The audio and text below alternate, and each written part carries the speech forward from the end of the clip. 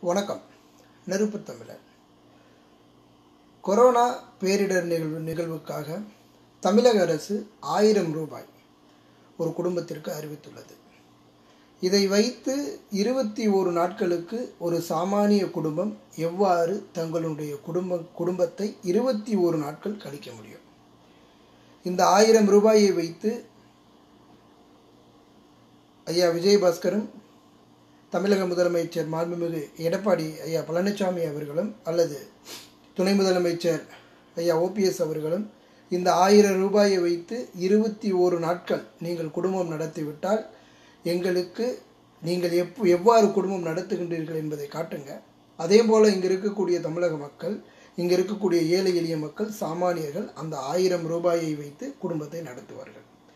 ஆயிரம் ரூபாய்க்கு ஆயிரம் ரூபாய் கொடுப்பது போல கொடுத்துவிட்டு சாராய கடைக்கென்று இதுவரையில் எந்த ஒரு விடயமும் இல்லை. சாராயக்கடை வழக்கம் போல் திறக்கப்படும். ஆயிரம் ரூபாயை கொடுத்துவிட்டு அந்த ஆயிரம் ரூபாயை பிடுங்குகின்ற ஒரு சட்டத்திட்டமாக நான் பார்க்குறேன். இந்த ஆயிரம் ரூபாயை நீங்கள் வைத்து குடும்பம் நடத்திவிட்டால் எம்எல்ஏக்கள் எம்பிக்கள் இங்கே இருக்கக்கூடிய அமைச்சர் பெருமக்கள் அனைவரும் இந்த ஆயிரம் ரூபாயை வைத்து நீங்கள் குடும்பம் நடத்திவிட்டால் நீங்கள் சொல்கிறதையெல்லாம் நாங்கள் கேட்குறோம் உங்களுக்கு அடிமையாக நாங்கள் மாறிடுறோம். அதனால் இந்த ஆயிரம் ரூபாய் ரூபாயை நாங்கள் எப்படி செலவிட வேண்டும்? எவ்வாறு செலவிட வேண்டும்? அதே போல் எமது அமைச்சர் பெருமக்கள் நீங்கள் அந்த ரேஷன் கடையில் செ- போடக்கூடிய அரிசியை நீங்கள் தயவு செய்து ஒரே ஒரு வேலை நீங்கள் எல்லாரும் நீங்கள் சட்டமன்றத்தில் எல்லாரும் உட்காந்து சாப்பிட்டு எங்களுக்கு ஒரு எல்லாரும் உட்காந்து சாப்பிட்டு நீங்கள் அதை ஒரு நேரலையில் பதிவிடுங்க. நாங்கள் இந்த ரேஷன் அரிசியை சாப்பிட்டோம். இந்த ரேஷன் அரிசி நல்ல திடமா தி- திடமாகவும் சுவையாகவும் நிறமாகவும் இருக்குது தரமாகவும் இருக்குது என்பதை நீங்கள் பதிவிடணும்.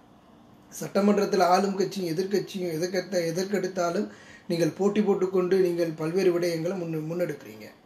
ஆளும் கட்சியான அதிமுகவும் எதிர்க்கட்சியான திமுகவும் ஆளுக்கு இருக்கக்கூடிய அமைச்சர் பெருமக்கள் எதிர்க்கட்சி தலைவர்கள் அனைவரும் ஐயா மு க ஸ்டாலின் உட்பட ஆயிரம் ரூபாயை வைத்து எவ்வாறு குடும்பம் நடத்த முடியும்? அதே போல் இந்த நாற்பது கிலோ ரேசன் அரிசியையும் எவ்வாறு சாப்பிட்டு உயிர் வாழ முடியும் என்பதையும் நீங்கள் இரு கட்சிகளும் நீங்கள் எங்களுக்காக உங்களுடைய சட்டமன்றத்தில் ஒரே ஒரு வேளை நீங்கள் எங்களுக்காக இதை முழுமையாக நீங்கள் சாப்பிட்டு காட்டணும். இதுதான் என்னுடைய ஒரு வேண்டுகோளாக நான் முன்வைக்கின்றேன். உலக நாடுகளை பொறுத்தவரையில் அரசியல்வாதிகளும் மக்களும் ஒன்றுதான். ஆனால் தமிழகத்தை பொறுத்தவரையில் அரசியல்வாதிகளுக்கென்று ஒரு தரம் திரைப்பட நடிகர்களுக்கென்று ஒரு தரம். ஆனால் இங்கு சாமானிய மக்களுக்கு இங்கு நீங்கள் தரமற்றவர்களாக தான் இருக்காங்க. இதனால் நான் இதை தமிழக அரசிற்கு ஒரு என்னுடைய ஒரு தாழ்வான ஒரு ஒரு பணிவன்போடு ஒரு வேண்டுகோளாக முன்வைக்கின்றேன். இதை நான் வந்து எந்த விதமான ஒரு விமர்சனத்தினுடைய அடிப்படையிலேயோ அல்லது அரசியல் நோக்கத்தினுடைய அடிப்படையில் அடிப்படையிலேயோ இந்த கேள்விகளை முன்வைக்கவில்லை.